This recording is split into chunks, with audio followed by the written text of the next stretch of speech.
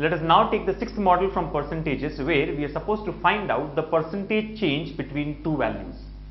Now let us first understand the formula here.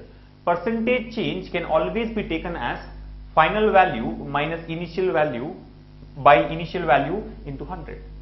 So whenever we are supposed to find out the percentage change from one value to the other, we can always go for final value minus initial value by initial value into 100.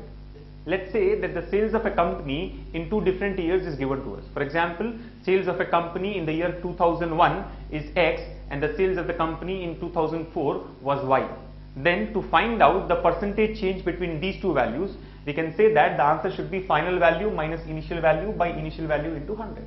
So the percentage change in the sales of the company from 2001 to 2004 can be taken as the sales in 2004 minus sales in 2001 divided by sales in 2001 into 100.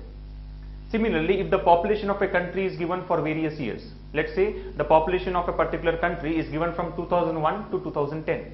Now to find out the percentage change in population from 2001 to 2010, we can take the answer as final value that is the population in 2010 minus initial value, the population in 2001 by initial value that is again the population in 2001 into 100.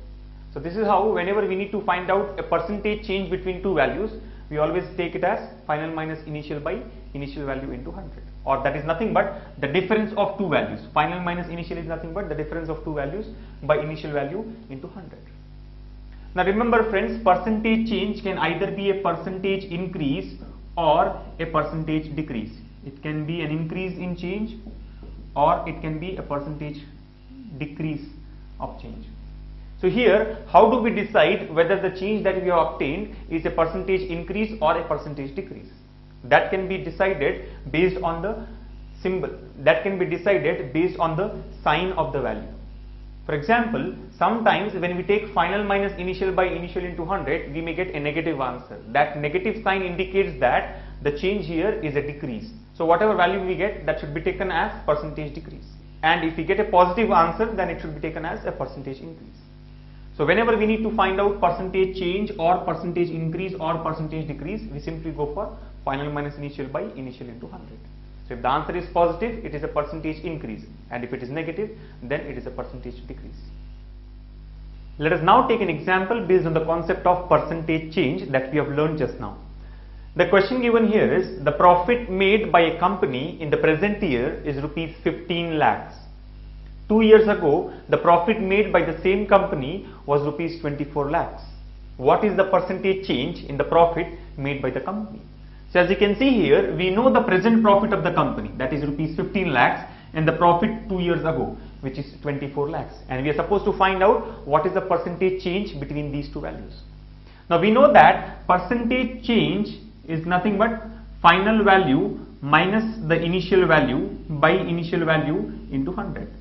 Now in the given question the final value is nothing but the present profit which is rupees 15 lakhs and the initial value is the profit 2 years ago that is 24 lakhs. So we can say that the percentage change will be 15 lakhs minus 24 lakhs that is the initial value divided by 24 lakhs